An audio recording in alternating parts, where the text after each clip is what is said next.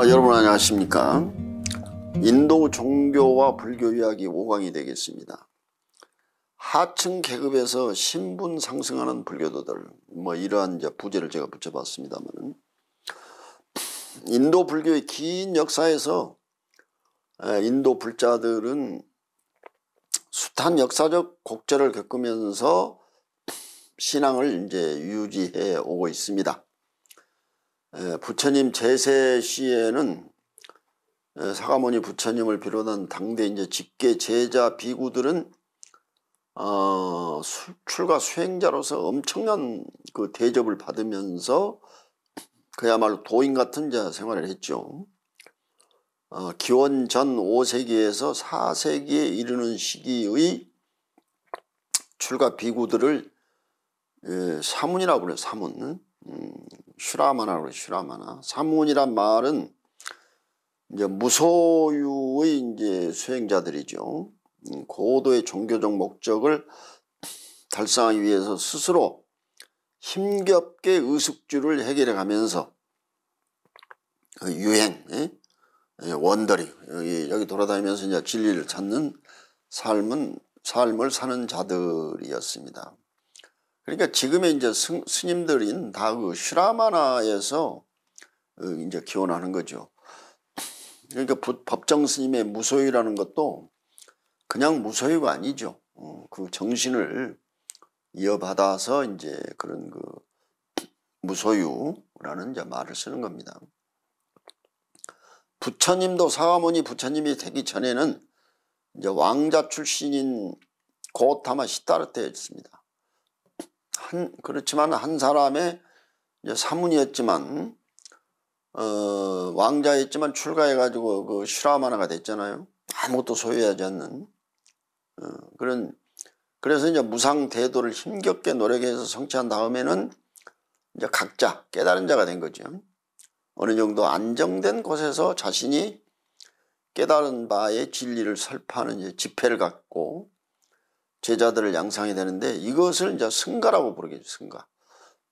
음, 처음에는 이제 왕자였지만은 슈라마나 출, 출가해가지고 이제 고행수도를 해서 도를 이룬 다음에 깨달은 분이 되었지 않습니까? 그러니까 이제 제자가 몰려들고 또 이렇게 자꾸 모임을 갖고 하다 보니까 어? 승가, 어, 승가. 인도 말로 이제 상가라고 그래요, 상가. 어, 커뮤니티죠. 공동체지, 공동체가 이제. 돼서 오늘 우리가 이제 승단이나 뭐 승가가 다 같은 말이에요. 음, 공동체를 이제 뜻하게 되는 거죠. 그러니까 삼, 사문이나 승가는 또 꼭 불교에만 국한했던 전통은 아닙니다. 음, 인도에서 힌두교에도 자이나교에도 있었어 이런 승가란 게. 어, 힌두교에도 이제 힌두 승려들이 있고 자이나교도 자이나교 승려들이 있거든요. 그러니까 그 사람들도 말하자면 무소유로 어, 슈라마나 그 사문으로서 고행수대를 하는 거예요. 말하자면. 그래서 지금도 인도에는 이제 자이나교와 그 승려들이 있죠. 보면 인도에 가보면은 자이나교가 지금 인, 자이나교는 이제 인도 밖으로 퍼지 퍼지지 않았습니다. 음. 이 공이파가 있고 이제 그 뭐 하는데 공이라는 거는 예, 옷을 입지 않는 전체 그 나체로 말이지 다니는 그런 자이나교 승려가 지금도 있어요. 하루에 한 끼만 먹고 이렇게 한 한번 어? 이렇게 이렇게 먹고 물도 한 번 마시고 수염 같은 거 다 뽑아버리고 아주 극도의 고행. 또 어디 길을 걸어갈 때 이렇게 빗자루를 쓸고 다녀. 왜냐하면 벌레를 죽이지 않는다는 불살생이라는 그걸 실천하기 위해서. 이제 그런 그 있죠. 그러냐. 그러므로 기원전 5세기에서 4세기에는 불교 사문 어, 부를 때 이름을 아 저 사람은 부디스트 시라마나 또 자이, 자이니, 자이니스트 시, 시라마나 힌두 시라마나 이렇게 해서 불렀어요. 어, 그 당시에는 그러니까 저 사람은 힌두교 소속 어, 고행자다, 수행자다. 또 불교 소속이다. 뭐 자연하게 소속이다. 이 밖에도 이제 많은 스승과 이제 사문 단체가 존석을 했습니다. 그 당시에는 여러 말하자면은 여러 종교 단체가 있었다는 얘기예요. 쉽게 얘기하면. 그리고 이제 불교 사문들은 사가모니 부처님의 지도와 불교 승가는 공동체 조직으로 이제 점점 이제 결속이 되어 간 거죠. 사가모니 부처님 승가 공동체가 형성되면서 비로소 이제 불교란 종교 공동체 조직이 시작이 된 겁니다. 한국 불교에서는 뭐 종단이란 이름으로 이제 바뀌었지만은 지금도 인도 불교권이나 동남아시아에는 이제 승가란 말을 많이 사용하죠. 승가. 상가라고 그러죠. 상가. 사가모니 부처님 이제 돌아가신 이후에 약 200년 후에 이제 태어난 아소카 대왕은 어, 인도 아대륙을 거의 통일하고 불교를 국교로 이제 받아들이고 불법 전도에 총력을 기울여서 불교는 오늘 세계의 종교가 되었죠. 정작 인도에서는 12세기형 터키의 이슬람 병사들이 불교 사원을 파괴한 다음 불교도 불교는 인도 아대륙에서 800년간 사라지는 운명을 갖고 말았습니다. 이 말은 무슨 말이냐면 부처님 돌아가시고 200년 후에 아소카 대왕이라는 분이 나와가지고 불교 전도를 했거든. 불교 전도. 어, 불교라는 종, 부처님의 가르침을 갖다가 이제 폈다 이 말입니다. 그러니까 인도 내 그때는 뭐 인도가 교통망이 발달이 안 돼가지고 뭐 어디 남쪽이나 이런데 뭐 어디로 가려고 그러면 엄청 힘들었거든. 그래서 이제 마가다 지방에서 이제 그 아소카 대왕의 그 왕명에 의해 가지고 전도단을 갖다가 구성을 해 가지고 어 자기 아들 그 마인다 장로 마인다 비구를 갖다가 스리랑카로 보내고 뭐 이렇게 해서 여러 군데를 보낸 거예요.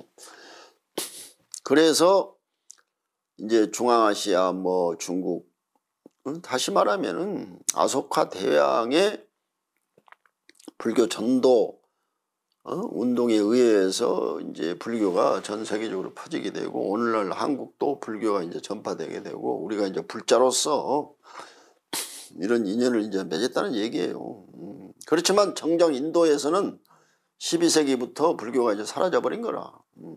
그러니까 불교는 인도 땅을 떠나서 이제 전 세계로 이렇게 퍼져 나갔지만은 정작 인도에서는 800년 동안 불교가 없었어요. 불교가. 참 비극이란 비극이죠. 다행하게도 인도 마하라시트라주의 나가프로에서 1956년 10월 14일 암베드카르 박사의 지도로 약 한 50만 명의 힌두교 하위 지정 카스트 계급인 불가쪽 천민의 신분에서 굴레를 받는 어, 거기에 다 얽매여가지고 이 사람들이 그냥 제일 그것도 낮은 아주 하층 인간 취급을 받지 못하는 그런 천민 천민 어. 로 있다가 이 암베드카르 박사가 가만히 보니까 음? 이 불교란 종교가 있었고 또 자기들이 다 보니까 그 뭐 사가모니 아소카 대왕의 후예들로서 말이야 이 도대체가 이게 무슨 이런 차별을 받냐 그래서 불교만이 우리의 종교가 되고 부처님의 가르침은 바로 우리가 따라야 할 가르칩니다. 그래서 개종선언을 한 겁니다. 음, 인권과 신교의 자를 찾게 된 것이죠.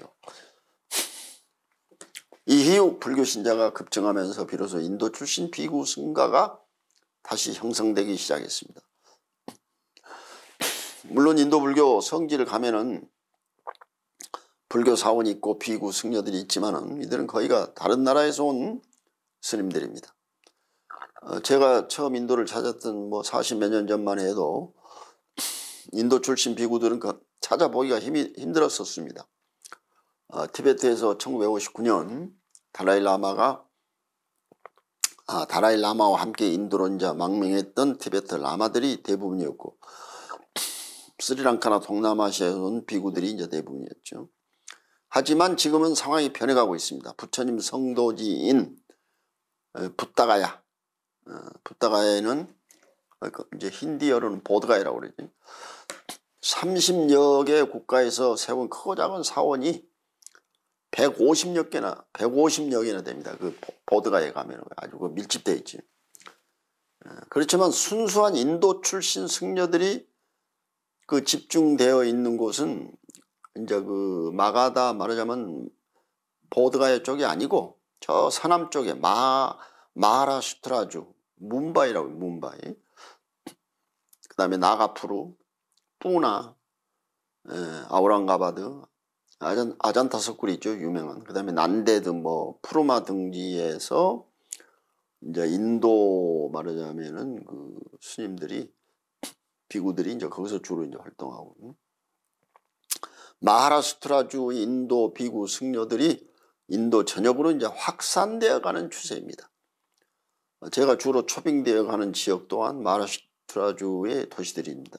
이번 그 설법 여행 잠마 투어는 이슬람 강세 지역인 하이데라바드까지 제가 연장이 되고 그 하이데라바드 주가 있거든요. 이제 거기도 또 불교 불자들이 있더라고요. 이 지역은 옛날에 이제 불교 유적지가 이제 불교가 왕성했던 곳이죠.